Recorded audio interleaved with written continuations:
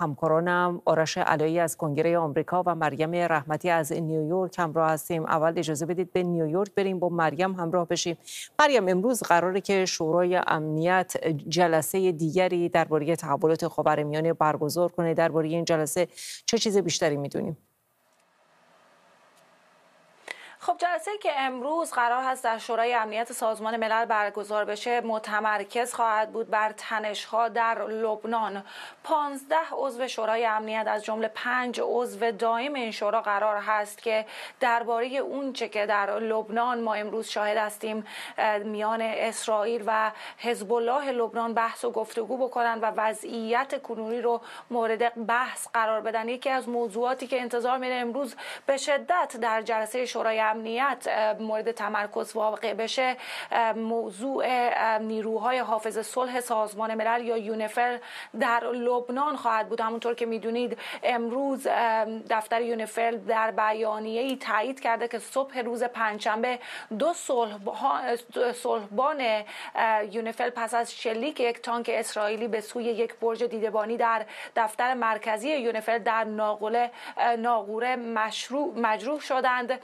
گفته شده که این شلیک مستقیما برج رو هدف قرار داده و باعث سقوط دو صلحبان شده و به گفته سازمان ملل این سومین باری هست که اسرائیل به سمت دفاتر یونیفل شلیک کرده. دفتر حافظ صلح سازمان ملل در لبنان به اسرائیل و تمامی بازیگران یادآور شده که موظف به تضمین ایمنی و امنیت پرسنل و همچنین اموال سازمان ملل هستند و همچنین موظفند که احترام بذارن به حرمت مکانهای این سازمان در هر زمانی.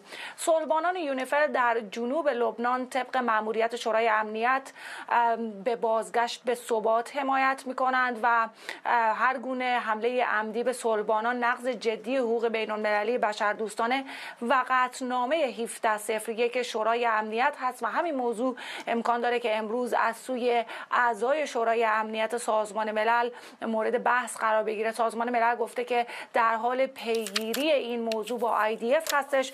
دقایقی قبل سفیر اسرائیل در سازمان ملل دنی دنان گفته که اسرائیل بر روی مقابله با حزب الله متمرکزه و به نیروهای صلبان یونیفل توصیه کرده که پنج کیلومتر به سمت شمال حرکت بکنه بکنن تا از خطرات ناشی از تشدید درگیری ها اجتناب بکنن. این موضوع بسیار مهم هستش که اعضای شورای امنیت و همچنین دفتر دبیرکل سازمان ملل توصیه می‌کنن که این دستور IDF به نیروهای صلبان خیلی خارج از نرم هستش و این نیروها اونجا هستند تا از وضعیت گزارش بکنن و همچنین کمک بکنن به کسانی که در این مناطق ساکن هستند به هر حال قبلا جوزف بوره مسئول سیاست خارجی اتحادیه اروپا هم واکنش نشون داده بود و محکوم کرده بود تیراندازی به نیروهای یونیفل رو و گفته بود که دوباره اسرائیل از یک خط قرمز دیگر عبور کرده و گفته بود که نقض قوانین بین المللی به حساب میاد چلیک به نیروهای صلحبان سازمان ملل متحد. به هر حال باید واکنش بیشتر رو در جلسه شورای امنیت سازمان ملل در ساعت آینده منتظر باشیم. بده به واشنگتن بریم با آرش همراه بشیم. آرش می‌دونیم که به هر حال تحولات خاورمیانه به سرعت در جریان تحلیل مطبوعات آمریکا در مورد آینده منطقه چه است این رویترز گزارش می‌داد که همونجور که شما در مطلع خبرخوانده ای که کشورهای حاشیه خلیج فارس به شدت در واشنگتن به دنبال لابی کردن هستند. که اسرائیل رو منصرف کنن از حمله به تأسیسات نفتی جمهوری اسلامی. به نظر می آید که این سری از ملاقات هایی که مقامات جمهوری اسلامی انجام دادند و دارند می‌دهند الان در منطقه در عربستان سعودی عراقچی می‌دونیم؟ بود با بن سلمان صحبت کرده بود. امروز در قطر در عمان دارن مانور برگزار می‌کنن. به نظر می آید که جمهوری اسلامی به شدت از ترس اینکه اسرائیل به مواضع و یک سری از تأسیساتش حمله بکند در حال خواهش کردن و فشار آوردن به کشورهای عربی است یا حتی تهدید کردن.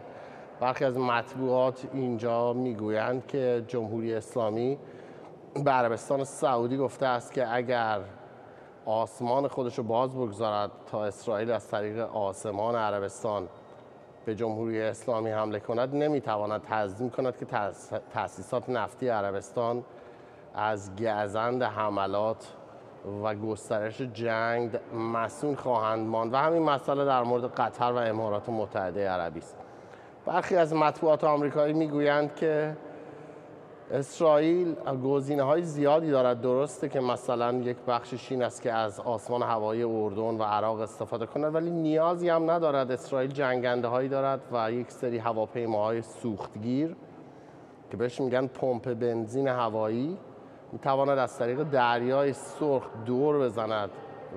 در واقع شبه جزیره عربستان رو به سمت عمان سوخگیری مجدد کند وارد خاک ایران بشود. یک سری از مواضع رو هدف قرار بدهد و بعدم بازگردد سوخگیری مجدد دوباره به سمت اسرائیل. بنابراین گزینه های اسرائیل زیاد هست. گزارش مطبوعات در مورد گمان زنی ها در موردی که چه اتفاقی می افتد به هر سوی می رود از اینجا که برخی از مطبوعات می گویند که اسرائیل دندان های جمهوری اسلامی رو کشیده است و این دیگر یک سگی است که دندان ندارد نمی‌تواند گاز بگیرد.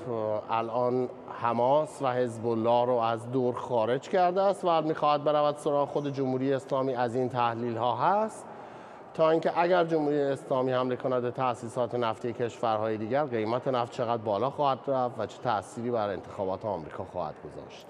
متشکرم از هر دوی شما. آرش علی از کنگره آمریکا از واشنگتن و مریم رحمتی از نیویورک همکارانم.